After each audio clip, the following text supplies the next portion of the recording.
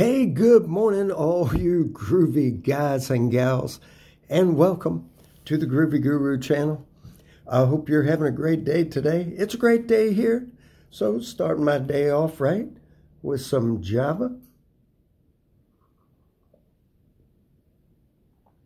Mm, unusually good today.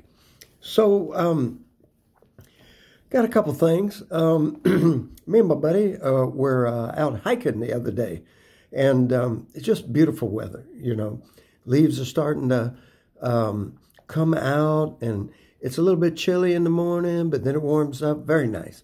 So we were walking along there, and um, I pointed out, I said, "Hey, there's a there's a baby snake there," and he looks at me and says, "How do you know it's a baby?" And uh, I said, "Because it's got a rattle." And then he ran away. I don't know. So, got a question for you. What do you get when you cross a bear and a skunk? I don't know, but it's not getting a seat on the bus.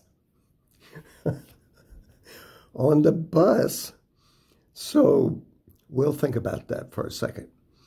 So, anyway, I am hoping that you went from here to here, and I am wishing you, I'm talking to you because I really want to talk to you.